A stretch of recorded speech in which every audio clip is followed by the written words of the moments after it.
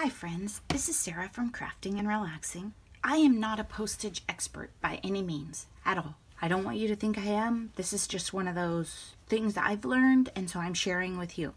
This time of year, especially, I think it's important to think about your postage costs because you're shipping to your family. You might want to thank some of your YouTube subscribers. You might just want to thank some of your crafty friends and send them something.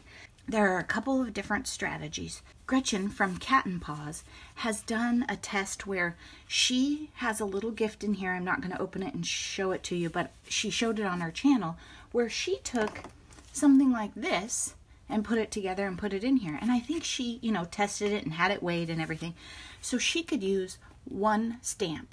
So she got to thank all of her contributors to a challenge with just a regular stamp. And I love this idea because I like to put something fun in a card. When I send a card, I like to at least put a few die cuts that I think the person might like. So that's a really neat way to bump your holiday cards up a little or to thank people because postage costs can add up pretty quick, right? If you're sending something to 20 people or even five if it's big. Gracie Beach Bum, oh my gosh, I'm going to get it wrong. Uh, Gracie Beach Bum 13. You guys know who I'm talking about.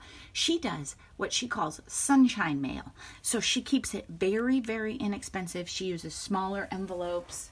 I think I have her fun Halloween envelope up here like this she she makes small things and sends them out so she can reach a lot of people and i think that's a really fun way sunshine mail i've been doing a lot of pocket letters and if any of you are watching this video and you're going no you're still doing it wrong then be sure and tell me.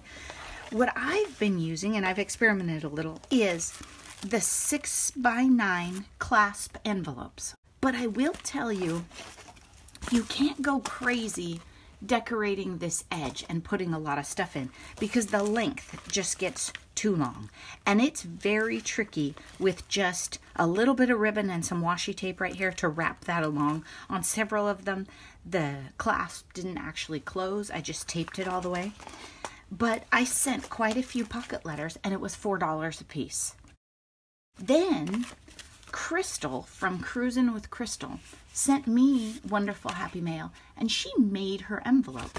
And look at how much it was. It was four dollars because she's still coming in at first class not using priority.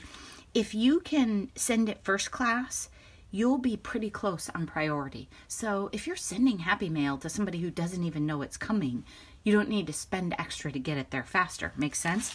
And this is a really nice thick cardstock that she used. She used one of those 12 by 12 sheets that has a giant picture that nobody really knows what to do with if they make cards and that kind of thing. But it's a gorgeous envelope, right? So what I was thinking was, this is longer. This resolves that trying to fit it into the thing. It's nearly the same width, and width isn't a problem for a pocket letter, but it's longer. So I could go back and watch the tutorial that she told me she got this from and make one, or I could kind of just look at the envelope and figure it out. But making your envelopes, you could send a whole bunch of joy to people for $4 a piece. The reason I started using these, honestly, was just because a pocket letter doesn't fit in here well. See, it's too long to fit in a small priority box. So I started looking around. But a small priority box is seven something to send this box. I'm going to fold it up so if you're not familiar with these, you can see. And the six by six pads don't fit in these boxes.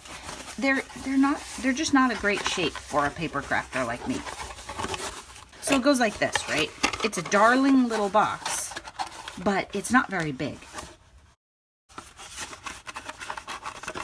Um, this works if you're going to do like some loose embellishments or some fun little stuff. But for seven, I think it might even be seven ninety five. You need to fill this box full to get your money's worth in weight, right? Because you can take your fancy envelope just like this and you could mail this priority. And if it's lighter, it's not going to cost you seven ninety five. The other thing you can do, if you wanted, if you didn't want to make envelopes and maybe you were in a, a challenge or you had a date and you were running late, this same envelope right here, this flat rate envelope, I think is seven something. It's the same price as the small box. And actually, a lot of our stuff fits in it better, right? A pocket letter is going to fit in it great. One thing that's kind of a bummer to me is when I put my pocket letters in these envelopes, and I got these from Dollar Tree, you can get yours anywhere, eight in a package for one dollar. They have some self-adhesive ones that are six in a package for a dollar, but since my adhesive doesn't always work and I have to use tape because of the length anyway, I wasn't worried about it. These, the when I use this and I put a pocket letter in it, it's kind of poofy. So I don't feel like I can put like an A2 card or a bunch of stuff for somebody to color, other stuff in there because I think it's going to get bent up. And if I use this, if I put a pocket letter, I could spend a couple more dollars and do it this way. But if I'm sending a bunch of them, I might want to keep it less expensive. So it just depends on what you want to put in with your pocket letter or cards or that sort of thing.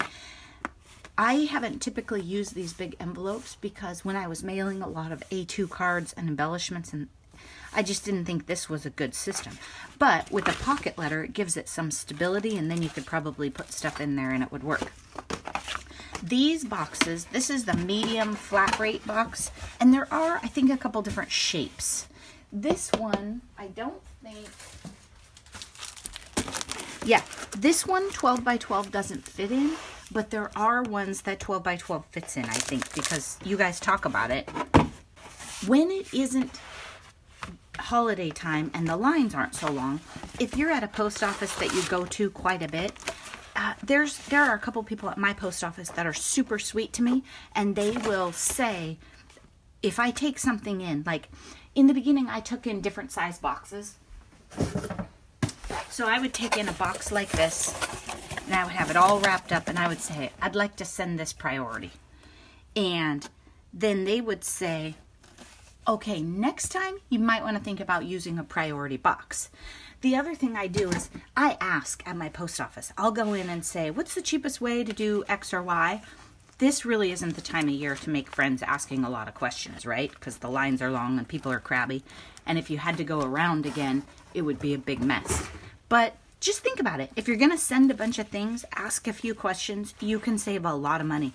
The other thing that happens to me sometimes is I go in to send something priority and they'll tell me, well, it's Friday, it'll get there at about the same time if you do it first class. So just ask questions and don't assume that the way you've always done it is the cheapest way because things change. The other thing I noticed is the boxes have changed over time because I had some small and mediums that were from my mom that had been sitting around for a while and it like caused chaos when I took them to the post office. They didn't know what to do with them. Thanks so much for watching and I hope that your post postage costs are not over the top this holiday season and that you're taking it easy and giving yourself some breaks. Have a great day. Bye-bye.